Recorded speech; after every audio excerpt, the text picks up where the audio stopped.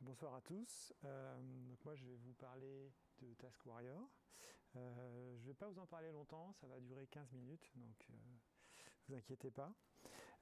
C'est un outil de to-do list en ligne de commande. juste un petit slide sur moi. donc, je suis développeur chez Orange Innovation à Rennes. Et moi, ce que j'aime bien, c'est les outils. Alors, ces dernières années, j'ai fait des présentations sur euh, Anki, qui est un système de carte mémoire pour forcer votre cerveau à apprendre, euh, Plant UML, euh, le meilleur éditeur du monde, et euh, Copilot. et là, ce soir, donc, et donc, chez Orange, je, travaille sur un projet qui s'appelle Mahali, donc une start-up interne qui fait travailler sur la livraison en Afrique. Et sur ce projet, on fait, je fais un peu de dev, un peu d'exploitation, un peu de front, un peu de back, ça part un peu dans tous les sens. Et donc survivre avec toutes les demandes de partout sans to-do list, euh, c'est juste impossible. Du coup, euh, j'ai essayé, comme Pascal, que je remercie de m'avoir invité ce soir, j'ai essayé plein de manières de gérer ma liste de tâches. Alors il y a celles qu'on m'impose, hein, Taiga, Jira, GitLab. puis j'ai aussi essayé plein d'autres logiciels à côté. Euh, alors certains ont disparu. Euh, il y a une spéciale dédicace à Astrid pour les vieux, euh, qui a été rachetée et coulée par Yahoo, à mon grand désespoir. Et, mais il y en a d'autres qui sont devenus payants, il y en a qui sont où ma liste est devenue gigantesque et j'ai tout fermé parce que ça me faisait paniquer. Et puis il y en a aussi qui sont très lents à lancer, et puis au bout d'un moment on est dans le rush et on remplit plus et puis on arrête. Et puis, euh, en fait, euh, depuis, euh, j'ai commencé à utiliser Task Warrior et je me rends compte que depuis trois ans, j'utilise Task Warrior tous les jours, tout le temps. Et je continue toujours à l'aimer et à l'utiliser. Donc je me suis dit, il y, a, quelque chose, il y a quelque chose qui fait la différence sur, ce logiciel. Donc là, je suis ici, pas pour vous présenter comment fonctionne Task Warrior, les commandes ça, mais plutôt pour prendre un peu de recul et dire qu'est-ce qui fait qu'on accroche à ce logiciel. Moi, j'ai créé 1600 tâches en 3 ans. Hein. Alors, est-ce que c'est la beauté, l'IHM, l'ergonomie, les couleurs, les boutons euh, bah, Pas vraiment. En fait, hein, si vous installez Task Warrior, vous tapez Task, ça donne ça. C'est pas, pas hyper excitant. Euh, par contre, c'est pas cher. Hein. C'est gratuit, c'est open source, ça tourne en local sur votre poste, il euh, n'y a pas d'abonnement à payer, c'est activement maintenu. Depuis 2008. Euh, ça, c'est plutôt un avantage. C'est écrit en C en Rust. C'est assez simple à utiliser. Euh, si vous installez Task Warrior et vous commencez à l'utiliser, vous tapez Task Add, bosser sur mes slides et vous avez créé votre première tâche. Vous demandez quelle est la liste des tâches que j'ai à faire et vous dit bah, tu as une tâche, bosser sur tes slides. Et vous continuez, Task Add, répéter ma presse et vous demandez hop, j'ai deux tâches. Je dis j'ai fini de répéter ma presse, hop, il me dit c'est ok, c'est fini. Et on continue comme ça. Euh, on peut euh, mettre euh, des annotations pour ajouter des précisions sur une tâche. Task 1, annotate, ajouter des images. On peut mettre par exemple des dépendances entre les tâches. Alors j'entre pas dans tout ce qu'on peut faire, c'est juste pour vous donner une idée de qu'est-ce qu'on pourrait faire. Et puis voilà, au bout d'un certain temps, ça donne ce genre de choses avec des couleurs et ainsi de suite.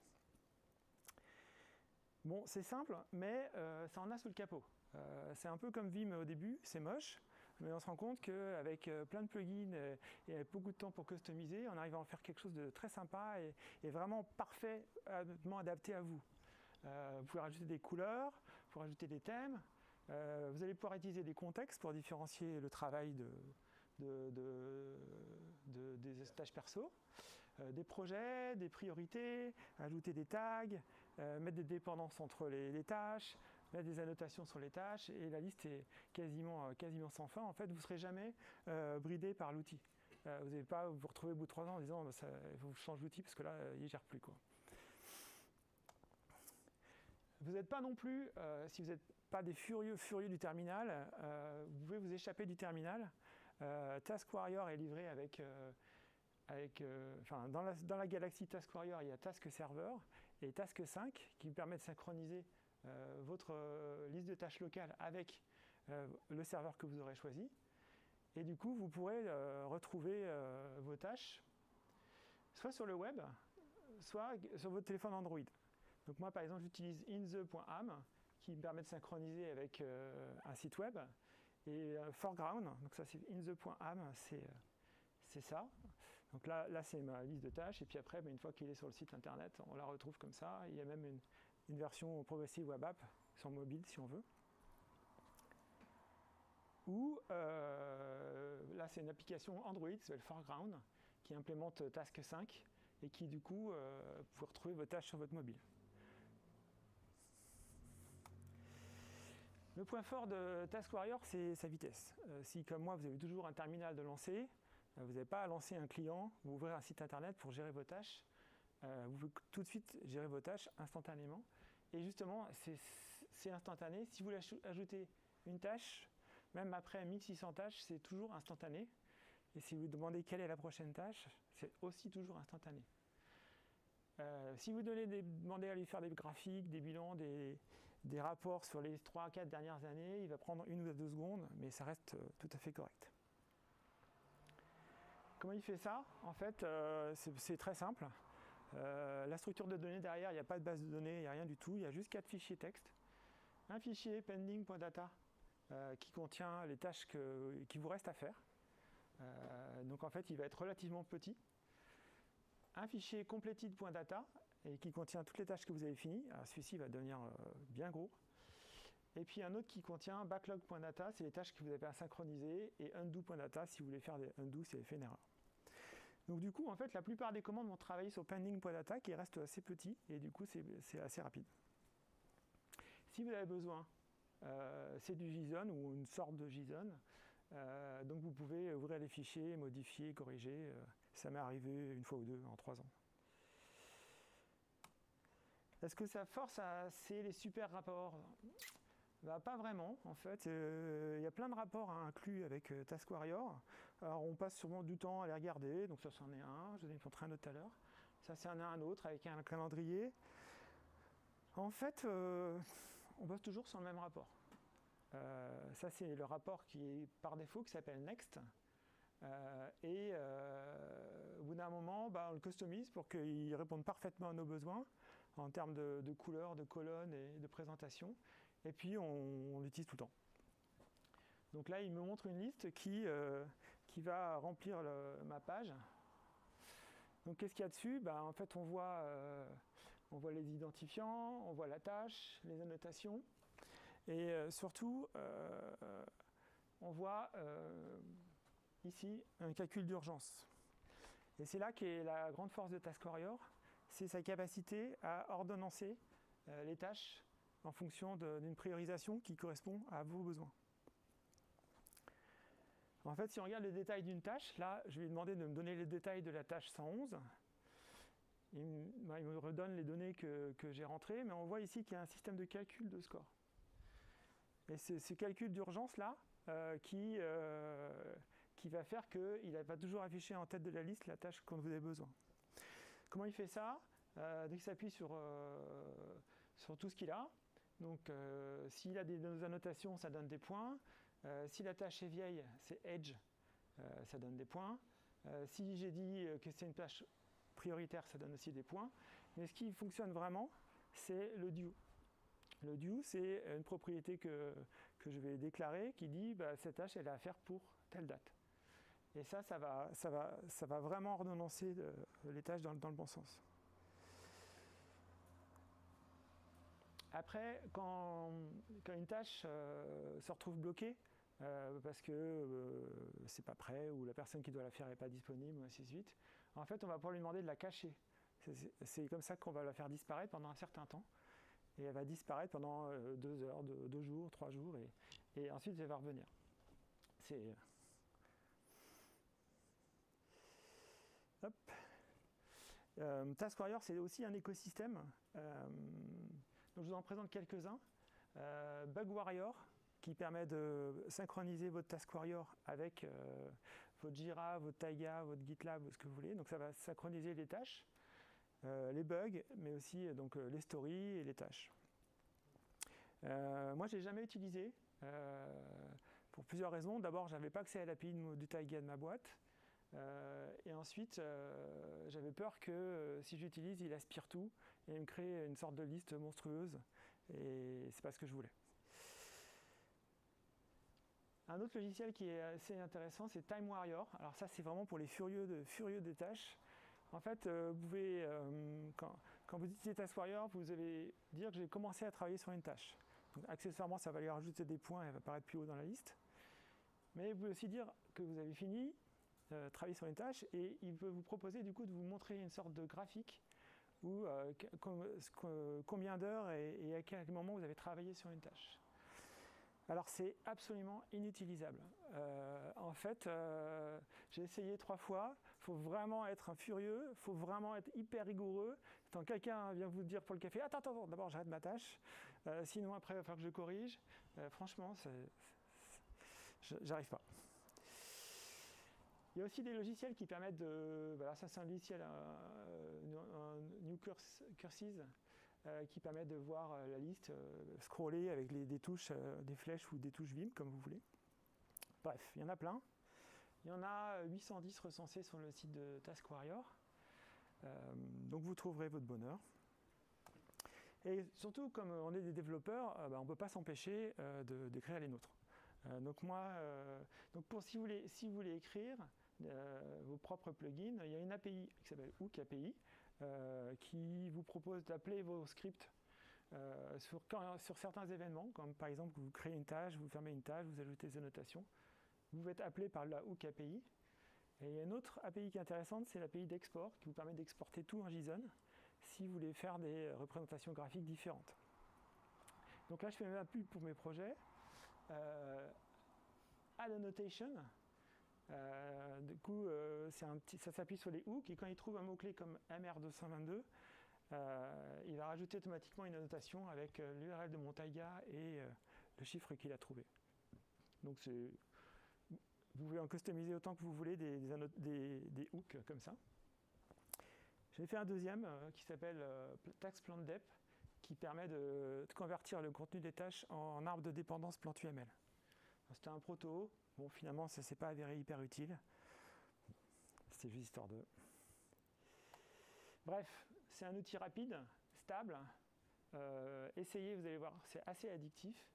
C'est très riche en fonctionnalités, c'est extensible, ça s'installe super facilement. Un apt install ou un brew install et euh, vous pouvez tester tout de suite. Si vous avez des questions ou si vous voulez revoir ces slides, je vous en prie.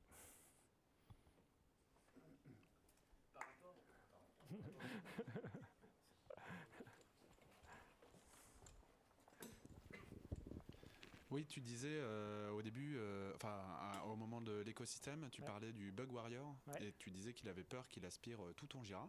Est-ce que c'est possible de dire, bah, j'ai un Task Warrior d'un côté sur mon truc stable justement, et pour tester ce genre d'intégration, tu lances un deuxième Task Warrior qui va aspirer tout ton Jira, mais au moins tu le sais, et ça pollue pas le premier. Et puis après éventuellement tu merges les deux ou des trucs comme ça.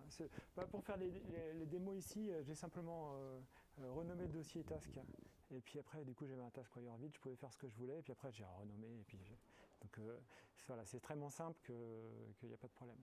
Et puis aussi, euh, il y a Time Machine euh, qui peut vous sauver pour retrouver vos, fichiers d'il y, a deux heures, éventuellement. donc oui.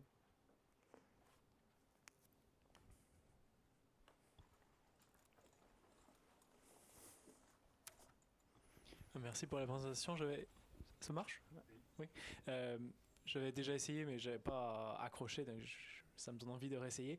Euh, dans l'algorithme de sélection, donc euh, il y avait euh, la deadline, combien de temps c'était. Est-ce qu'il y a moyen de customiser ça? Oui, complètement. Parce qu'un truc que, que je trouverais vraiment utile, c'est pouvoir euh, mettre des estimations un peu de complexité euh, aux tâches, dire euh, bah, celle-là c'est une petite tâche de, sans forcément dire ça ça dure 30 minutes, ça ça dure 2 heures, etc. Mais peut-être mhm. facile, complexe, etc. Et puis quand j'ai du temps, par exemple 30 minutes entre deux réunions, demander à Task Warrior, trouve-moi une tâche facile que je peux faire en 30 minutes. Ah, tu veux faire du dedicating six done avec Task Warrior C'est faisable du coup Oui, complètement. Il y en a plein qui ont essayé, qui ont même réussi. Est-ce qu'ils sont encore là pour en parler? En fait, en fait, euh, en fait euh, par exemple, là, si vous voyez, ici, il y a marqué UDA Priority. UDA, ça veut dire User Defined Attribute. Donc en fait, c'est extensible à, l'infini. Vous pouvez rajouter, typiquement, si tu veux faire ça, il va falloir que tu rajoutes une, un, attribut qui dit l'estimation de temps que ça va te prendre. et du coup, en fonction de, Normalement, c'est en fonction de, la fraîcheur de ton cerveau et du temps dont tu disposes de trouver la tâche idéale. Euh, donc tu peux le faire en ajoutant des attributs. Après, euh, l'idée de Task Warrior, c'est euh, dès qu'on te dit de faire quelque chose, tu notes, tu notes, tu notes, tu crées les tâches tout de suite et après tu vas revenir dessus, tu vas les compléter, les annoter tu peux le faire. Tu vas peut-être passer un peu trop de temps et au bout d'un moment, enfin, de toute façon, tu trouveras ta propre manière de fonctionner avec. Euh, si, si tu penses que tu en as vraiment besoin, bah, tu, tu, tiendras. Sinon, bah, tu, tu, reviendras au fonctionnement normal. Et oui, moi j'ai tuné, j'ai tuné un petit peu l'algorithme de priority en ajoutant euh, priority high, euh, medium, low. Et puis sinon, globalement, l'algorithme répondait à mes besoins. J'ai répondu à ta question.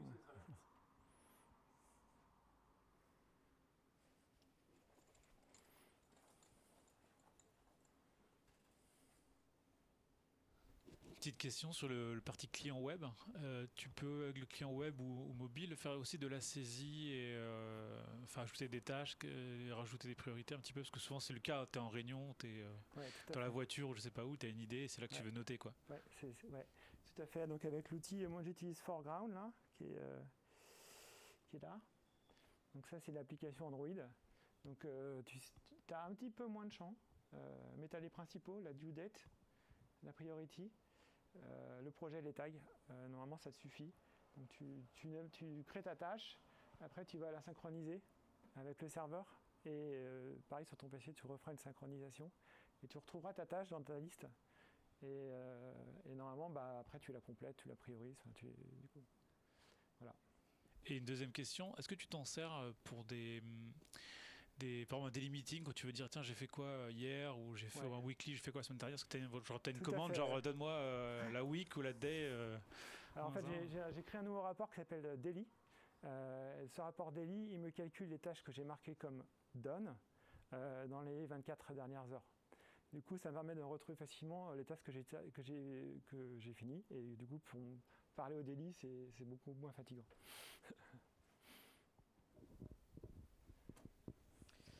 Euh, merci pour la présentation déjà. Euh, tu parles de synchroniser avec le serveur. Ça veut dire que ton fichier, tu le mets quelque part quelque part sur un serveur à toi ou ça veut dire que il y a un serveur enfin je pense pas c'est de l'open source il doit pas y avoir un serveur euh, partagé avec plein de monde? Alors euh, tu, ne synchronises pas le fichier euh, tu, tu, te synchronises avec une instance de task serveur avec leur propre protocole le task serveur tu peux le faire tourner sur une machine à toi c'est de l'open source donc c'est assez facile à installer si tu as un NAS Synology qui traîne tu te fais ça dessus euh, sinon, euh, in euh, il propose le protocole. Donc ça marche. Ok, merci.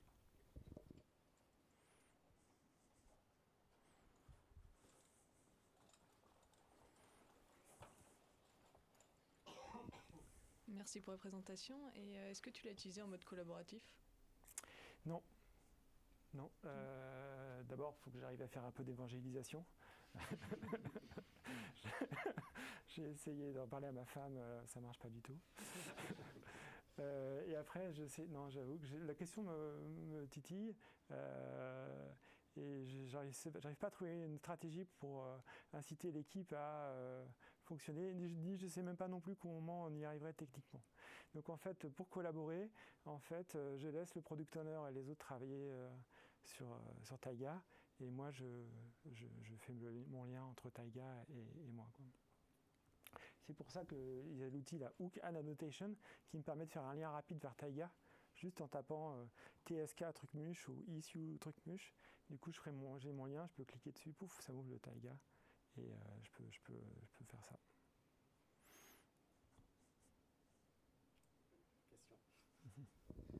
Merci ouais, pour la présentation. Euh, moi, je suis plutôt, j'utilise plutôt Augmente. Je sais pas si tu as évalué cet outil. J'ai pas entendu. Org mode.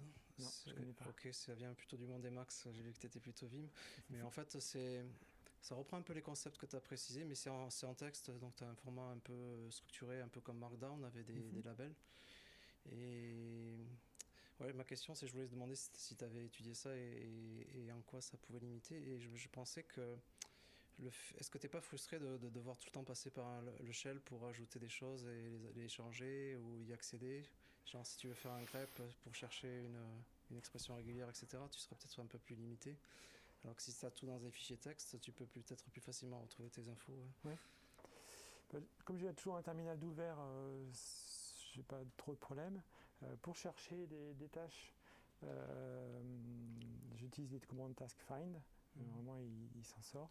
Euh, je, je, peux rien, je, puis je connais pas du coup ton produit, donc euh, du coup. Euh, c'est une approche un peu différente, mais ouais, l'idée c'est le slogan, c'est ta vie en, plain text. Hmm. Donc en fait, c'est d'ajouter un maximum de d'enrichir un langage texte pour pouvoir faire tout un tas de choses. Donc ça va bien plus loin. Tu peux faire des, tu peux gérer des calendriers, tu peux même faire des tableurs, tu peux faire des faire des comment s'appelle des, ben, des, opérations mathématiques, insérer des scripts qui vont s'exécuter. Enfin, c'est peut-être pas forcément accessible à tout le monde, mais c'est assez puissant. Ouais, bah, en fait, euh, je, crois que j'ai le même besoin que toi de créer une sorte de, de, logbook de ma vie euh, où je puisse retrouver. Enfin, on appelle ça un deuxième cerveau. Euh, et pour ça, je m'appuie sur un logiciel qui s'appelle Obsidian, qui, qui en fait stocke tout en Markdown et offre une sorte d'interface graphique euh, plus riche. Et ça nous permet effectivement de faire des, recherches, faire des liaisons facilement entre les documents. Euh, oui.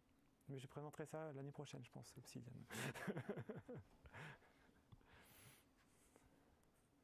ok, ben merci beaucoup Nicolas. Bah, moi je l'installe demain. Hein.